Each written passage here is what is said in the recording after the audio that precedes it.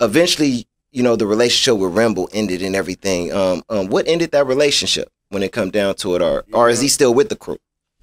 Everybody in their own head is their own person. You know what I'm saying? Everybody got their own egos and shit. You know what I'm saying? So maybe he thought he was bigger or something than them, or bigger than whoever. So I guess he told me some shit, and then they told me some shit, and then I guess it was like, all right, well, shit, y'all already said what y'all said. Like, you know what I'm saying? Like, what y'all gonna either leave it alone or what? Like, he on some shit like pick, like it's either me or them. Like, man, we ain't doing none of that shit, nigga. Y'all can either get in the gloves, like, or do it. You know what I'm saying? Cause it ain't nothing. Yeah, real talk. You said they, you said they dish you.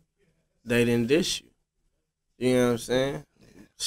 Like that type of shit. Yeah, yeah, They ain't even really like. Why would they dish? You know what I'm saying? yeah, yeah.